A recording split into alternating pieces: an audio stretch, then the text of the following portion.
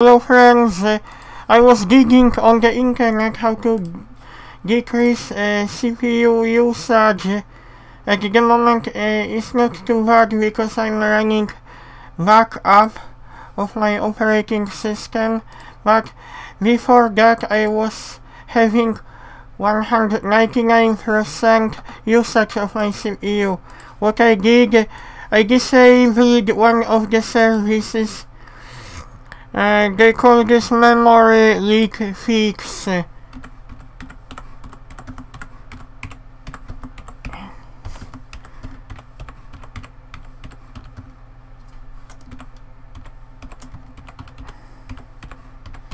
Uh, okay, I will show you. I will try to zoom in. After fixing this, I was able to work with on my I was able to work with my operating system as normal. Oh, I can see that even Notepad WordPad has quite large possibility. Okay, no, no, no, I cannot say because I'm doing backup. I hope I will be able to help you because after doing, uh, after performing this, I no longer have high usage of my CPU.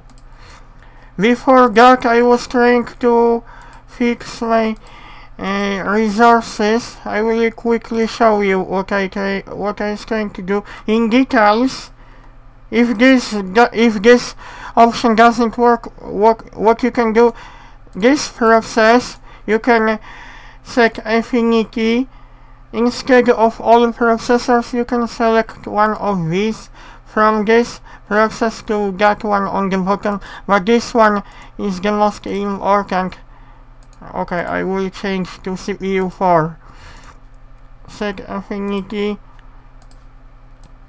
as you can see I I have high usage of hard drive because I'm performing backup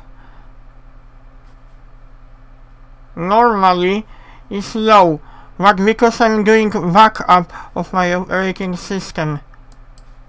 So you open up regedit, registry editor, you go to HKEY local machine, system, current control set, services, there should be a name of service, NDU, uh, you change start up uh, type when you double click on this. And you put value 4 this is what I did. I was finally able to fix my CPU usage. If this doesn't work you can use option uh, what I used uh, before. But this second option is much better what I showed you